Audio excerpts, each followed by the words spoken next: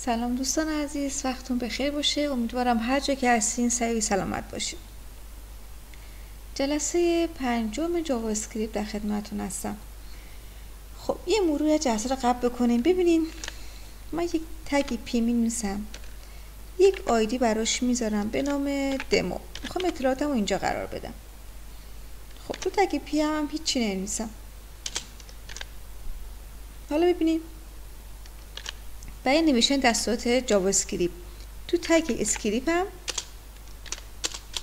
شروع می‌کنم به نوشتن دستورات خب یک با variable یه متغیر تعریف می‌کنم به نام text. داخلش یه رشته می‌ذارم. تا اینجا درست. این از متغیر من. حالا میام میگم که document دیگه این دستورات انقدر کار می‌کنیم که همه حفظ میشیم. dot get element by ID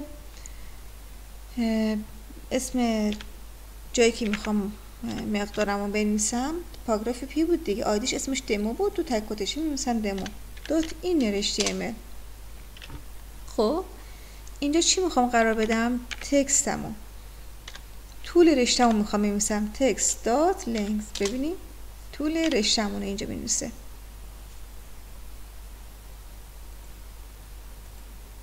رو نه تا. پس برای طول رشته فکر کنم جلسه قبل گفتم حالا یه مروری هم میشه. text dot length این حالا پاکش کنم بریم سراغ بعدی. پاراگراف تگ پی من باشه. خب یه متغیر وریبل تعریف می‌کنم به نام استیار یک رشته توش می نویسم?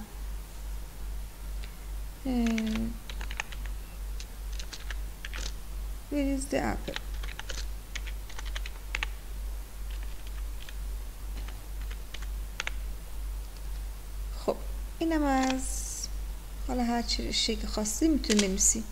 خب یه متغیر دیگه هم تعریف می‌کنم.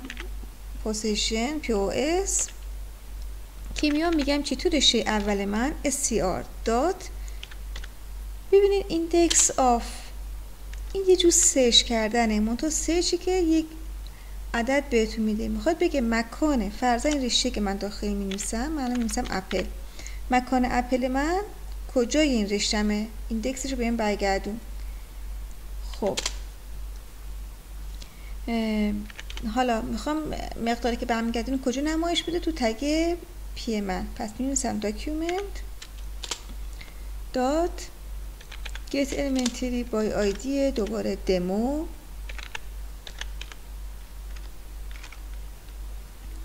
dot inner HTML. اینجا چی رو قرار بده؟ pos منو. این کنیم میگه که اپل شما از index 13 شروع شده. ببینید index رو یادتون باشه از صفر شروع میشه. صفر یک دو سه چهار پنج شیش هفت هشت نه ده یازده دوازده سیزده. پس اپلتون از سیزده شروع میشه. ببینید حالا من اگر دو تا اپل داشته باشم اینجا میگه اپل بنویسم. الان چی کار می‌کنه؟ ببینید اولی رو فقط به من پیدا کرد میگه از index صفرتون. حالا اگر من به جای index of از دستور دیگه استفاده کنم. بگم آخرین اپل منو برام برگردون. last index of آخرین موقعیت اپل برام نشون بده. ببینید آخریه نشون میده. میگه 19 شروع میشه. چون ببینید index رفت جلوتر دیگه به خاطر اینکه اپل هم من اضافه کردم. خب پس این آخریه رو برام نشون میده. این تا اینجا. یه کار دیگه هم می‌تونم بکنم. باز اینو دوباره پاکش کنم. این dot. و اجازه بدین من کمی خب. کامپیوتر رو جابجا کنم. خیلی خوب. به جای این دستور میام از دوباره همون index of استفاده می‌کنم. dot index of. تو اینجا به جای وقت اپل نوشتم بعد بگم که از پاراگراف مثلا از index سومش به من اپل پیدا کن ببینیم چی میشه. نکنه همون 19 رو برگردون. چون دیگه چه اولی رو صرف نظر که از سوم به بعدش میاد دنبال اپل میگرده. پس حتی اگر من داخل خود این اپل باشه تا سوم من داخل خود این اپل اولیه ولی از این صرف نظر می‌کنه میره دنبال اپل بعدی میگرده. پس این index of هم می‌تونیم اینجوری بنویسیم که موقعیت یک عدد بهش بدیم و بگیم از اونجا به بعد برای ما search کنه. به جای index of شما می‌تونید اصلا دستور search استفاده کنید اینو اصلا پاکش کنیم خب اینجا به جای index of بنویسم dot search. این دقیقا مثل همون index of کار می‌کنه. اولی رو براتون برمیگرده رو موقعیت صفر. خب. یک تابع دیگر کار می‌کنیم. ببینید str dot ببینید slice چیکار می‌کنه. برش میده از متنتون. میگم که از پاراگراف پنجم 22 تا برای من از پاراگراف از index اشتباه گفتم شرمنده. از index پنجم تا index 22 برای من برش بزن ببینید چی میشه. این مطلق اینو براتون برمیگردونه. خب اگه بخوایم بیشترش کنید 22 بیست کنیمش 25 ببینید به این صورت خب اینم از slice. حالا من اگر این 25 رو در نظر نگیرم بگم از آقا از index پنجم برای من به بعد هرچی که هست برای من نمایش بده. میاد اینجا ببینید همه رو براتون نمایش داد. یا اگه بگم چه مثل قبلی است بگم از دوم به بعد. به این صورت. اینم پس یه مدل دیگه نوشتن slice. یک تابع دیگه هم داریم به جای slice استفاده کنیم بزنیم پاکش کنم. اینم عین همونه. منتها بجاش می‌نویسیم چی؟ sub پس فرقی نمی‌کنه. میگم از پنجم مثلا 20 از آره از index پنجم 22 تا. اینم مثل قبلی است. مثل slide تونه. slice تونه حالا پس substring هم یه مدل دیگه شه به جای اینم میام از این دفعه اینجوری استفاده می‌کنم. چون تکراری از این میگذریم. می‌نویسم dot دوباره sub این دفعه str. اینو چی میگم؟ میگم از index پنجم سه تا برای من جدا کن. این باز فرقش اینه دیدیم این دومی رو میگه چند تا جدا کنه. ولی قبلی ها نه. اولی یک index بود دومی هم یه index دیگه بود. خب حالا بیایم ببینیم چی شد. نکنیم؟ به این صورت. خب ببینید وقتی که اینجوری شما در اصل تا جدا کرده چون جا خالی هم بوده و تو متنتون نمی‌بینید مثلا من اینجا بنویسم. از هفتم سه تا جدا کنه الان مشخص شد. سه تا جدا کرد. خب اینم از ساب استیار. پس فرقش این شد. خیلی خوب. اینا رو من پاکش کنم دوستان. اینو پاک کنیم. این پاراگراف اینم پاکش کنیم مثلا. بیایم یک button درستش کن درست کنیم. میگم وقتی که on click کنه رو button من یه تابع برای من اجرا کنه. حالا اسم تابعتون هر چی که می‌خوای می‌تونی بنویسی من می‌نویسم my function خب اینم از باتن. و میمیسم کلیک.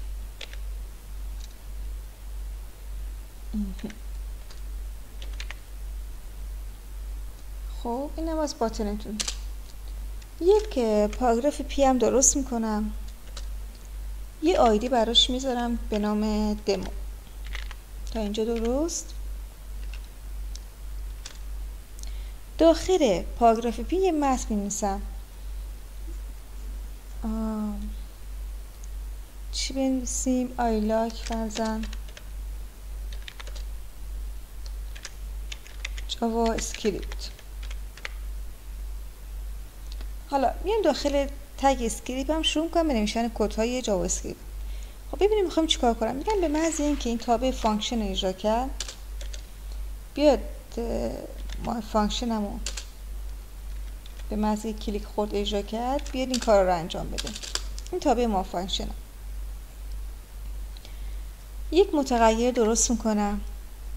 variable str تعریف می‌کنم. بخشی متغیر تعریف کنم variable str حالا داخل اینو می‌خوام چی بریزم؟ داخل اینو این آیا ریزه بدیم با بزرگ بنویسیم. این رشته ای که اینجا نوشتم و می‌خوام بنویسم. دیدین؟ پس این اولین باره که همیشه ما داخل این مقدار قرار میدیم می‌دادیم دفعه می‌خوام مقدار اینو داخل یه متغیر بریزیم. خب پس اینجا می‌نویسم پس مقدار این شد document dot get element by id demo درسته. و dot این نرشته پس داخل متغیر من. میاد چیکار می‌کنه؟ I like JavaScript رو قرار میده. این شما متغیر str من. تا اینجا درست. و حالا یه متغیری که تعریف می‌کنم. به نام text. هر اسم که خواستی می‌تونی برای متغیرتون بذاری مهم نیست. خب حالا میگم توی این رشتم str بود دیگه. بیا جایگزین کنه. برای جایگزین کردن دستور replace استفاده می‌کنم. جایگزین کنه. چی جایگزین کنه؟ به جای JavaScript هم ببینیم. برای اینکه حالا اشتباه نرسیم. چون حروف کوچیک بزرگ حساسه. دقیقا می‌خوام این این جمله رو بنویسم. خب. به جای JavaScript من. بیا چی بنویسه؟ بنویسه فرضا jQuery. جکوئری. خب حالا بیا چیکار کنه اینو برای من دوباره تو پاراگراف پی قرار بده. پس باید بگه document. Dot get element by id ها اسمش دمو بود دیگه درسته؟ و این ایمیل کنه. اسم متغیرم چی بود؟ text بود. حالا text رو بیاد نمایش بده. بیایم اینجا ببینیم چی شد. نکنی نشه I like JavaScript رو این کلیک کنم به جای JavaScript نشون چی؟ jQuery پس replace من جایگزین کرد. حالا من اگر یه کاری که بکنم اینجا رو اینی که کپیش کنم. یک and دوباره بنویسم و دو تا JavaScript بنویسم. ببینیم همه رو کپی می‌کنه یا نه. نکنیم یه بار refresh ش کنیم. به این صورت دیگه. I like JavaScript and JavaScript کلیک می‌کنم ببینید یه دونه اولی رو که پیدا کرد فقط جایگزین کرد. دوباره مگه کلیک کنه که باز بعدی هم باز رو پیدا کنه. پس replace میاد چیکار می‌کنه؟ یه دفعه بیشتر جایگزین نمی‌کنه. هم اولی که پیدا می‌کنه جایگزین می‌کنه. مگه اینکه شما دوباره کلیک بزنید. اینم از این. مگه اینکه بیایم یه کار کنیم دوستان اینو بیام پاکش کنم این کوتیشناشو بردارم خب از این علامت استفاده کنم دو تا از این دو تا کاراکتر و جی استفاده کنم حالا ببینیم چیکار کرد ببینید هر دو تا رو همزمان اومد چیکار کرد جایگزین کرد ریپلیس کرد پس این دوتا کاراکتر و جی چیزی هم که در نظر بگیرین JavaScript بین حروف کوچیک و بزرگ تفاوت می‌ذاره. من اگر بیام مثلا به جای این بیام همه حروف بزرگ بنویسم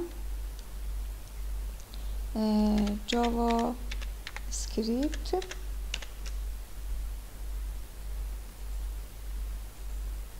نکنه هیچ تغییر اعمال نمی‌کنه چرا چون نمی‌تونه پیدا کنه. پس تفاوت قائل میشه. مگر اینکه من بیام اینجا به جای جی بنویسم آی. حالا ببینید چی میشه. ببینید الان دیگه تونست پیدا کنه. ولی بعد دوباره بزنید چون دیگه فقط جی بود که این خاصیت رو داشت که همه یه آن میومد پیدا می‌کرد replace می‌کرد. پس اومدم به جاش گذاشتم. i i را اگر بذارین دیگه بین حروف کوچیک بزرگ تفاوت قائل نمیشه. اینم از این. دیگه چی بهتون بگم دوستان عزیز؟ خب بذارین اینم من پاکش کنم. اصلا همه رو پاک کنیم.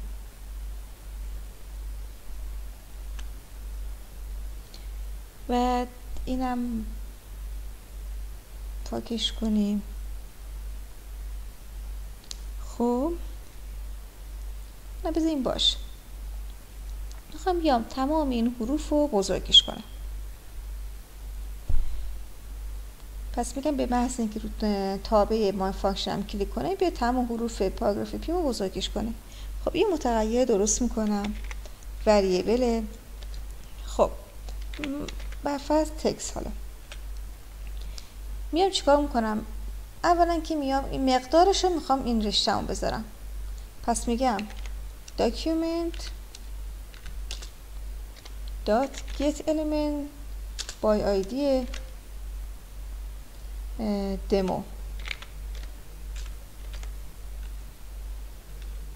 خب دات این رشته این شد مقدار متغیر تکست من. حالا متغیر تکست می‌خواد بیا چیکار کنه؟ بیام اول تو تگ p من اینو قرار بده. Document dot get element تری by ID demo خب این رو شمل کنه. خب بیاد حروف بزرگ این متغیر قرار بده. پس میگم text dot برای حروف بزرگ. ببینیم میسم to up case to upper case میاد حروف حروف تحت حروف کوچیک هست تبدیل حروف بزرگ می‌کنه. خب بیایم یه با اینجوری رفرشش کنیم ببینیم چی شد. نکنیم همه رو تبدیل حروف بزرگ کرد. برعکسش هم هست. بدایی به جای آپه بنویسم. لاوه. خب ببینیم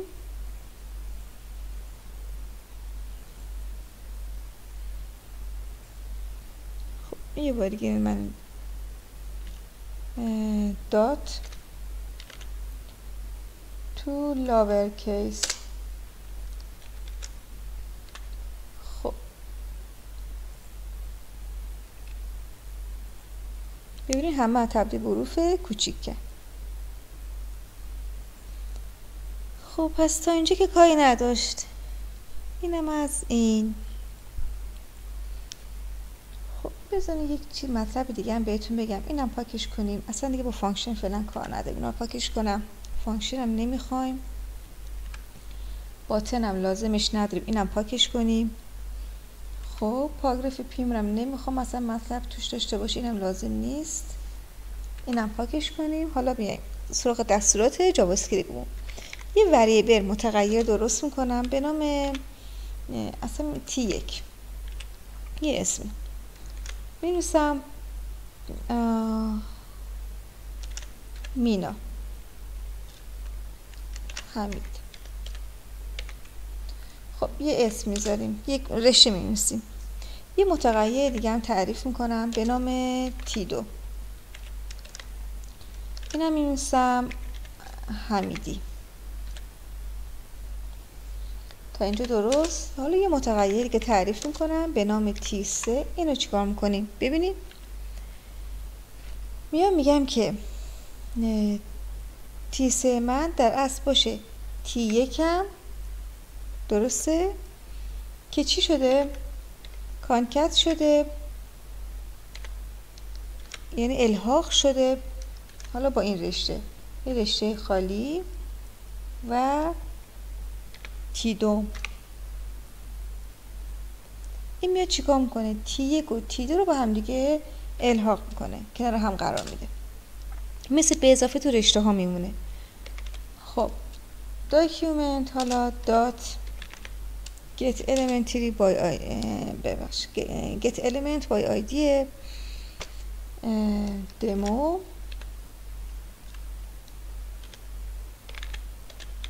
خب. دات این نرشته من اینو بنویسه چی؟ تیسه مساویس با تیسه